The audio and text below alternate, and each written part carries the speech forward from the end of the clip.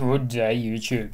This is just a bit of a quick comparison video between Fedora 33 on the left and Linux Mint 20.1 latest releases on the right.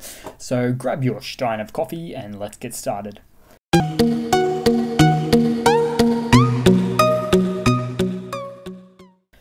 Okay, so starting off, we have Fedora 33 on the left right here and Linux Mint 20.1 on the right.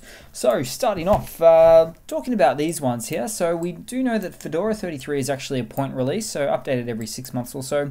So is Linux Mint uh, 20.1. Now, Fedora is actually based on the Red Hat Enterprise Linux. It is the upstream, so the latest and greatest stuff there. Kind of uh, a beta test in a way. And then on the right-hand side, we have Linux Mint 20.1, which is actually based on the long-term service release of Ubuntu 20.04. Now, the desktop environments are a little bit different for these. Uh, they are actually both the default desktop environments. So you will find on the left-hand side, we've got the, uh, the GNOME desktop environment, GNOME 3.x. Whereas on the right hand side, we've got a little bit of the, the Cinnamon, the in-house built desktop environment for Linux Mint there. Further on, if we move a bit uh, closer to uh, more reality of what we're looking at here, we can actually see the file managers are also a little bit different, but uh, but also the same in a way. So we're working with the, the GNOME files or Nemo or Nautilus. It goes by many names here, but it is really much of a muchness in terms of these ones here. Nothing to write home about as per usual.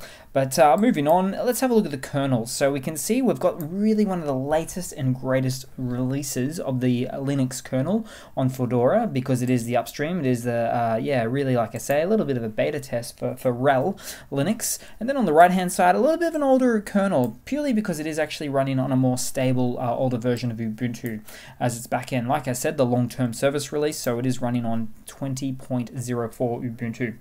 Uh, moving across to have a look a bit of RAM usage here, see what it's like. Now, Fedora is uh, notoriously a little bit high. It sits at about uh, a thousand megabytes of RAM or a gigabyte of RAM right on boot up, whereas Linux Mint, especially on the Cinnamon desktop environment, is a little bit better. It's about 650 megabytes of RAM, at least right now.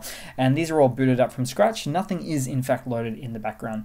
So that's pretty much it, guys. Just a super simple, quick, fun comparison between Fedora 33 on the left and Linux Mint 20.1 on the right. Thanks for watching please leave a comment, subscribe, hit that like button, and I do hope to see you guys there in the next one. Cheers.